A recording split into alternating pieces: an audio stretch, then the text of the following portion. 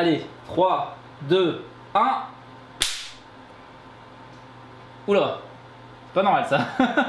Salut, c'est Léo de la chaîne Techmaker et aujourd'hui on va parler du USB Killer. Alors je sais, je suis pas le mec le plus original à parler de ça maintenant parce que je sais que pas mal de gens en ont parlé. Mais je vois pas mal de gens dire que finalement il faut pas vraiment faire gaffe parce que c'est vraiment des clés très spécifiques, que ça coûte assez cher et qu'on peut pas en acheter partout. Mais aujourd'hui je vais vous montrer que c'est pas si compliqué que ça à faire une clé pareille. De quoi on va avoir besoin pour faire tout ceci? Eh bien on va déjà avoir besoin d'une petite clé USB qui est du coup démontée et d'un appareil photo avec un flash de préférence. Alors oui tout ça ça peut paraître très bizarre mais en fait on va se servir du flash pour pouvoir faire notre USB killer. Pour vous expliquer comment ça marche, à la base un port USB est censé fonctionner avec uniquement 5 volts. L'ordinateur va donc lui fournir une tension de 5 volts et grâce à cette tension, il va pouvoir être alimenté et fonctionner comme une clé USB pour pouvoir récupérer les fichiers. Le truc, c'est que dans ce genre de clé, euh, va y avoir 5 volts, plus 5 volts, plus 5 volts, plus 5 volts, etc. etc. Parce qu'évidemment, c'est bourré de petits condensateurs et une fois que tout cela sont chargés, ça va tout décharger d'un coup sur le PC, ce qui fait que ça va totalement surcharger. Alors en général, les clés vendues sur le marché sont entre 110 et 220 volts, mais avec la nôtre, on est encore un peu plus au-dessus de ça. Du coup, d'abord, on va commencer à totalement désosser notre appareil photo pour pouvoir récupérer ce qui nous intéresse. Une fois la machine totalement détruite, on va récupérer le circuit imprimé ainsi que le flash. Faut juste faire gaffe dans tout ça de garder l'emplacement pour la pile. Et en fait, dans la clé USB, le seul truc qui nous intéresse, ça va être la prise USB, ce qui fait que vous pouvez prendre carrément un câble USB et ça fonctionnera tout aussi bien. On va juste souder ce port USB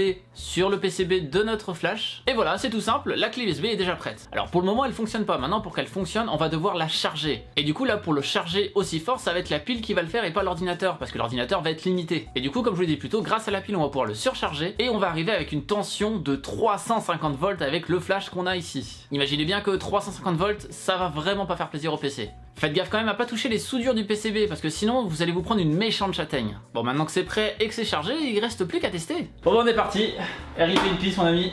Allez, 3, 2, 1. Waouh Ok. Alors il est pas mort totalement, il a l'air de tenir encore un peu. Bon l'écran a sauté, il tourne toujours. Qu'est-ce qui vient de se passer? Alors ouais, comme on peut le voir, le PC a pas totalement cramé, parce qu'après on va même le redémarrer et ça fonctionnera nickel. Ce qui se passe dans ce cas-là, c'est que les ports sont protégés par des varistances. Ce qui fait que ça limite les dégâts et que la carte mère ne va pas crever sur le coup. C'est plutôt intéressant et je reparlerai un petit peu à la fin. Mais maintenant, on va essayer ça sur les ports arrière qui sont peut-être moins sécurisés que les autres. C'est parti pour l'arrière, 3, 2, 1.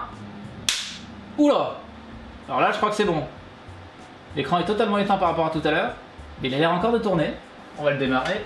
Hop Les boutons sont totalement bloqués. Les boutons ne servent absolument plus à rien. Du coup, on va y aller de force. Donc là, ok, il est éteint. Il se rallume direct. D'accord. Et donc là, ouais, le PC est bel et bien mort. Il démarre toujours, mais en fait c'est juste l'alimentation qui tourne parce que la carte mère ne fait absolument plus rien. C'est pour ça que d'ailleurs sur l'écran il n'a rien qui s'affiche. Et lorsqu'on l'allume derrière, il s'allume directement sans même nous demander comment les boutons fonctionnent parce que les boutons ne servent absolument plus à rien. La machine est un petit peu morte vivante en fait si vous voulez. Donc ouais, l'USB Killer a bel et bien détruit ce PC.